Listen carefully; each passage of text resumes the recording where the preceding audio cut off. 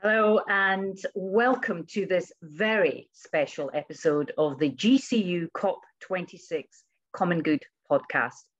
My name is Professor Pamela Gillies, Vice Chancellor of Glasgow Caledonian University, and I am absolutely delighted to be joined today by GCU's Chancellor, humanitarian, climate and social justice campaigner, and singer songwriter extraordinaire, Dr. Annie Lennox, OBE, and the wonderful social activist and campaigner, Dr. Satish Kumar, to discuss the role that education plays in tackling the climate emergency, to discuss how our journeys, our individual journeys, have led us here, and what we need to see from COP26 happening in Glasgow right now. Dr. Lennox, Dr. Kumar, thank you so much for joining me on this Common Good Climate Emergency podcast. And the first question uh, to you is, you know, you are both long-time activists and social campaigners, but where did your passion for social activism, activism come from? Where did it originate? Can I ask you first, Annie, where did that wonderful passion you have come from? Well, you know, from my father's side of the family, we uh, were working class, uh, shipyard workers, socialists. There was a whole familial consciousness around the sort of injustice of, at that time, we always said capitalism. Now, of course, we've gone into this global corporate world. So, one half of my family were very socially conscious. And actually, they were activists during the just you know in between the first world war and the second world war my grandparents were on the streets as as young social activists uh, working outside the factory gates handing out pamphlets fighting with fascists fascists that came up to scotland and were trying to um, sort of persuade working class people to join the fascist movement. I found this out about my my grandparents later on so eh, some of that uh, consciousness has come from this upbringing of hearing issues being discussed around the dinner table and, and all of that. And, and, it, and it was never really beaten into me. You know, it wasn't as if I was expected to pick up that baton, but somehow or another, there is something in the Lennox DNA that, that is very, very aware of injustice. It's always been the case. I feel it in myself, I feel it in my bones. And it's just something that one lives with, actually. Baked in to you, Annie. It is, it is baked in. It's something you, that you cannot walk away from because mm. it's just in your bloodstream, it's in your consciousness. And Satish, for you, social activism, where did that come from?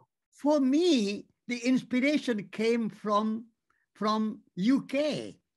I was 26 years old, young man, sitting in a coffee house in Bangalore and I read a piece of news that 90 year old great philosopher, Nobel Prize winner, Lord Bertrand Russell was protecting against nuclear weapons. And not only protesting, but was sentenced to imprisonment.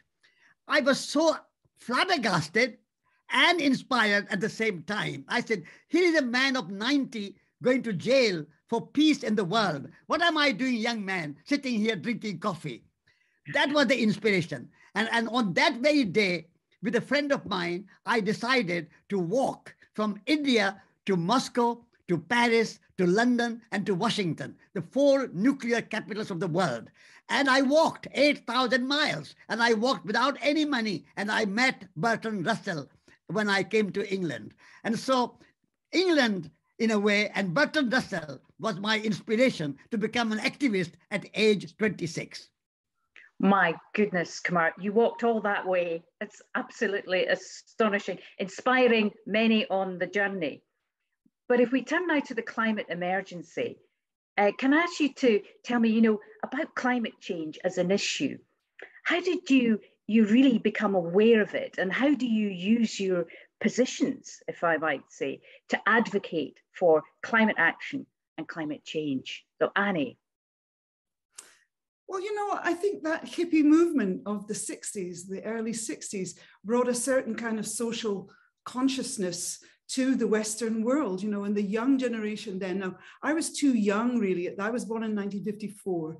So I was only like, oh, I don't know, about 10 years old, something like that. And I started to become aware of a different set of values. And of course, you know, all these great Eastern teachers were, you know, Tibetan teachers were moving out uh, obviously to, to India and to different countries because of the Chinese invasion and all of that. There are so many global shifts and changes that have taken place historically that have created this kind of extraordinary nebulous consciousness that finally kind of percolated down to a young Scottish kid, you know?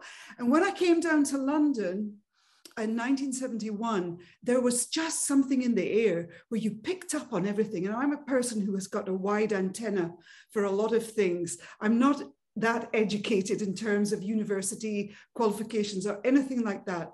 But something significant did happen to me. I must just bring this in. It's a beautiful story. Dave Stewart, my partner in Eurythmics, his stepfather was passionate about the glaciers melting. And he had every book on the subject, every line about it was underlined. And on a Sunday, he used to actually go with a placard down to Camden Lock and tell people, look, the ice, ice caps are melting. We are going to be flooded. And it sounded very eccentric at the time. Mm. But then, of course, you knew that huge organizations were picking up on this, like Greenpeace and Save, you know, um, uh, Save the Earth, and all the all these sort of uh, climate justice organizations have been working since the 60s and 70s. That awareness, that awareness has been there, and it's usually the young generation actually that push these movements, and that is why I am so passionate as a chancellor of Glasgow Caledonian to encourage and inspire our students to actively take part in what needs to be an emergent, I mean, this is a real, serious global pending catastrophe.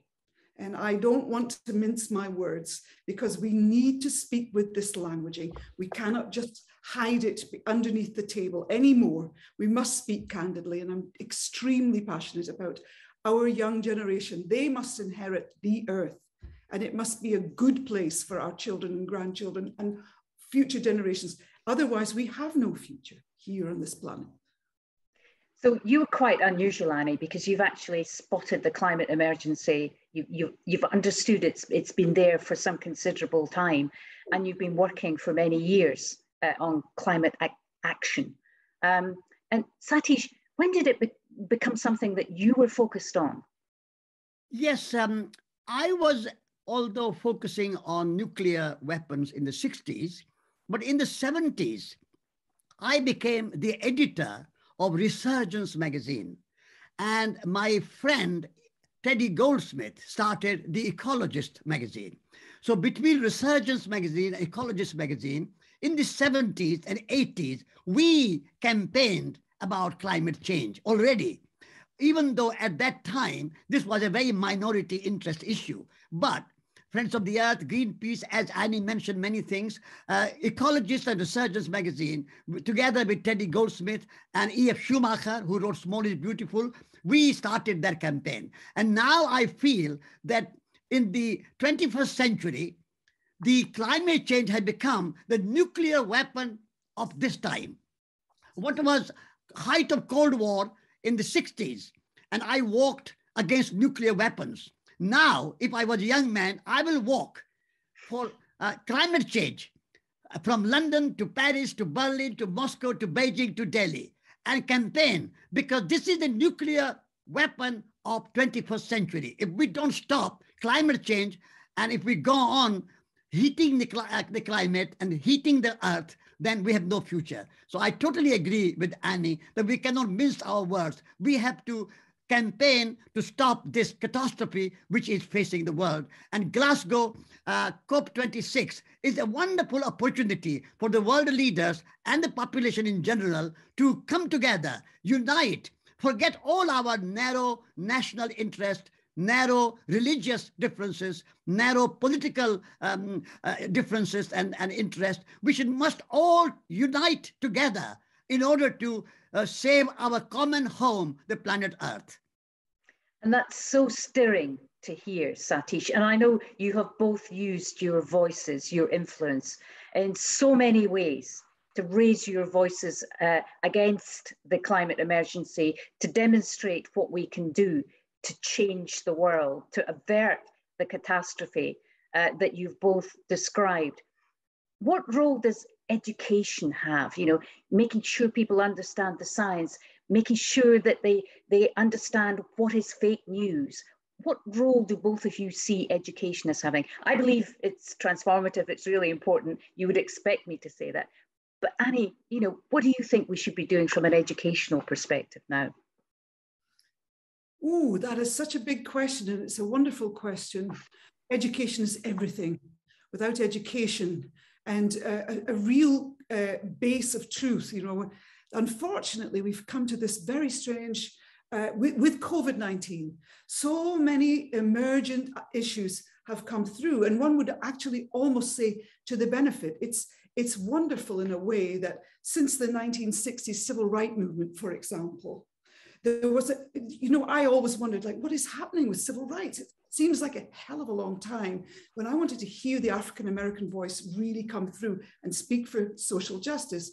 Now with COVID and um, hashtag hashtag Black Lives Matter, we've we've had that voice coming through, but it always needs to be sustained. And what I've learned, and I'm sorry if I'm slightly diverging from your question, but I just want to say that, you know, one one has a platform nowadays. It's an extraordinary thing that internet provides us with so much information and yet again, there is so much polarization taking place, and disinformation is a really, really complex thing to unpack. And so it is really important that we look to the sources of the education, whatever that might be. What are we listening to? What are we mm. really understanding? And we have to sort of break it down as individuals. We have the responsibility to really check the source of what we're finding. And that is why I think that the universities and the colleges have a very, very eh, strong potential in a way to guide young people into making the, the right kind of balanced decisions out of all the information that is flooding us. What is truth and what is untruth is very, very important for all young people. Well said. And Satish, we at our university embed our work on climate action within all the 17 sustainable uh, development goals of the United Nations because all of the goals, no poverty, no hunger, gender equality, fair work, um, you know, good health and well-being, all of the goals are interconnected. And I just wondered what you felt about the role of education and climate action within the, this broader context. Yes, uh, I would like to first of all congratulate you. Uh, Glasgow Caledonian University is one of the leading university to address these issues in our modern times. But in the rest of the world, most of our universities are still following the old educational system, which was designed for the industrial age in the 19th and 20th century. And all the problems we face today of climate change, social inequality and injustice, um, fossil fuel industry, um, big corporations emitting a lot of pollution and waste. They are all problems designed and led and created by highly educated people. from Harvard, from Yale, from Cambridge, from Oxford, from big, big universities of the world. They are running the show, which is polluting and wasting and creating climate change. Therefore, we have to say that the education system practiced around the world today is out of date. We have to have a new education. The old education is teaching young people to look at nature as if it was only a resource for the economy. That is a wrong education. Nature is more than a resource for the economy. Nature is life itself. Nature is source of life itself. And that we have to bring into our education say we are not here to conquer nature. We are not here to exploit nature. We are here to revere nature and live in harmony with nature. That nature centered education has to be brought for the 21st century. And I think all our universities have become out of date. They are still training young people to go out in the world and get jobs which will pollute, waste, and create carbon emission and create more global warming and climate change and more social injustice. So I would say we have to be very radical, and your university is a prime example of creating new path and new ways of education. So I would like to again congratulate you for your wonderful work. And I hope that your example can be uh, implemented and, and kind of be practiced by other universities so that we can bring nature, ecology, environment, social justice, uh, gender equality, all these issues are part of education and not just learning how to get a job, how to be successful. Our education is very egocentric my success, my money, my job, uh, my um, status, my position, my um, reward, everything me, me, me. Our education has to change from me culture, me education to we education, we culture. And that is the new challenge for our 21st century. Education is a part of the problem. We have to make education a part of solution. At the moment, education is part of the problem. Yeah, I I have to say, I agree with you. Uh, I think the tide is turning. Universities around the world are now making commitments to the United Nations Sustainable Development Goals. They still have to embed that commitment in real actions. But I'm, I'm delighted to hear that. And I hope that they can change more quickly and, and embrace the ecological paradigm and social justice paradigms more quickly. Uh, they will have to. Uh, Dr. Kumar, because as you and Annie have pointed out, we are on the edge of a catastrophe here. Uh, these problems sometimes seem very large problems. They're systemic problems that only governments or big policymakers can change. Can I ask you just personally, in your own lifestyles, what have you done to change um, you know, your lifestyle to be more climate just? Annie, just one thing if, or two. Well, I have to, I'm going to be really honest and frank with you because I just don't want to be um, inauthentic, you know. It's very hard. It's very, very hard uh, to, with, to live a life that is kind of out of a system that, that millions of other people um, I, I have no other choice but to adhere to. I mean, there are plenty of things one can do. I'm living here in America and I mean, everything is plastic, no matter where you go, everything that you touch, you know, from the moment that you go into your bathroom, you're using hair products and all manner of things.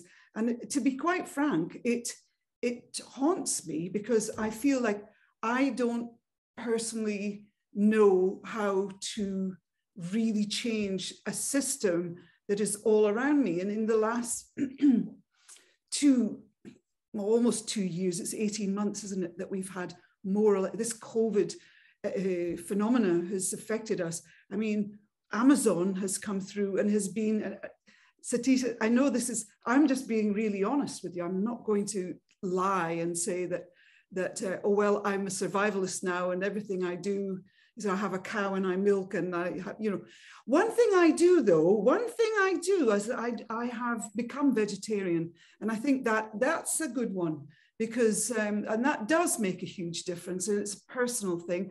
I don't go around telling people, apostolizing and telling people, you must be vegetarian like me. That doesn't really work. If, you know, I do have a small platform and I hope that perhaps I, perhaps through influencing in my small platform. For, for example, this is very important to me. Satish, you've just spoken so passionately, and it's so, um, you know, it's fierce. This is fierce. Mm-hmm. When Satish talks about something radical, he has lived, you have lived an incredibly radical life. I mean, my green footprint is appalling as a musician because we've had to use transport, we've had to fly everywhere, we've had to go in huge trucks. And it's kind of put, put everything into question. And as an older person now, you know, I'm not really touring and doing those sort of things that I might feel terribly guilty about in some kind of way. But it's, you know, the modern, comfortable uh, things that we can use that are convenience products, they're, they're kind of fantastic, really. That's the problem. We're kind of all bound into it. Satisha's going to now take, take that line and tell us really what we can do. But I mean, if it was one thing, honestly, Pamela, I would say pro- probably becoming vegetarian and, uh, yeah. you know, just, just not eating red meat. Is it maybe my one thing, my one change? Yeah. Obviously, I do believe that, you know, the ocean is made out of infinite drops of ind- individual drops of water. I do believe that. And so, you know, maybe, maybe that has, that has some kind of influence, but I live with despair. I do live with despair because I'm anxious, dreadfully anxious about this future you know, every day I'm just like, oh my God, we're stuck, we're stuck. That's how I feel. But that's a huge contribution you made, Annie, you know, to say you become vegetarian and don't underestimate uh, the influence and encouragement that will give to so many people around the world. Satish, um, I'm just, I can't wait to hear, what have you done personally I to mean, change your lifestyle? I, I think Annie's example is marvelous plant-based diet. I follow that. Mm. All my family, my wife, my two children, my grandchild, granddaughter, we are all eating plant-based vegetarian diet. And I think 30 to 40% of our carbon emission is generated by, uh, by meat industry. And the amount of water we use and the amount of land we use is colossal. And therefore, if we can have this example, like Annie has set, set, the example, and I follow that example. I'm also completely vegetarian, and, and you follow uh, plant plant-based diet. And so, if we if people can reduce their meat consumption, that would be a great contribution to the uh, question of the crisis of climate change. But also, I would like to say the another thing which I do much more uh, is walking. If we can walk to work, if we can walk to our library, if we can walk to our uh, doctor's uh, surgery, if we can walk to our uh, schools, wherever we have to go, if we can have a walking distance and walk more and use less cars and less trains and less aeroplanes, because transportation is another great contributor to climate uh, catastrophe and climate crisis. And therefore, I practice walking as much as I can. And, and more I walk, is not only good for the environment and good for the climate change, but it's good for the mind. My mind is more healthy um, and my body is much more exercised. So for my personal um, life, for my mental health and for the health of society and for the health of the planet, walking is another good example that I try to practice and I try and I hope that other people can also follow. So eating a plant-based diet is my practice and walking more is my practice and you know these are these are examples we can all follow eating a more vegetarian diet and walking they're not difficult to do and so that's thank you so much for sharing these mm. cop26 is upon us um, we know there are lots of vested interests by the way uh, in the meat industry for example uh, that make these these real challenges to encourage people towards a vegetarian diet and, and to have a more healthy lifestyle. But COP26 is upon us now. What does it need to deliver? And are you hopeful, Annie? I mean, this is dreadful because you put me on the spot. I mean, I've, I have been able personally to make some small contributions in, in small ways to this event. And, and, and that's, I'm always looking for ways to to contribute wherever I can, you know, and that's that's really my life is based on that, just making contributions wherever I can to help to amplify messaging. But you know, talking is very, very important. Having conversations like the one we have um, is very important. We just have to keep that kind of energy going. But of course, the basic thing is action. And, and you know, I mean, the thing about COP26 is that everyone is focused upon it. Afterwards, when everyone leaves, you know, you, one has to walk one's talk.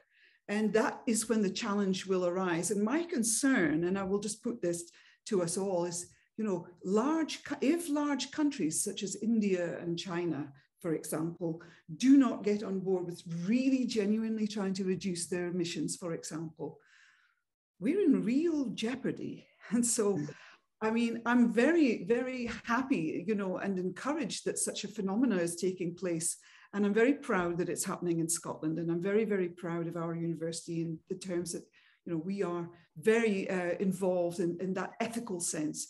But I, I really have this dreadful, dreadful sense because I mean, of late, the of the latest UN report that you know, it says, and I'm reading now, I quote, we are missing the opportunity to build back better from you know our, our you know, COVID pandemic. There was a catchphrase that's build back better. If we if we don't, we face disastrous temperature rises of at least 2.7 centigrade if countries fail to make their climate pledges. Now, that is really sobering.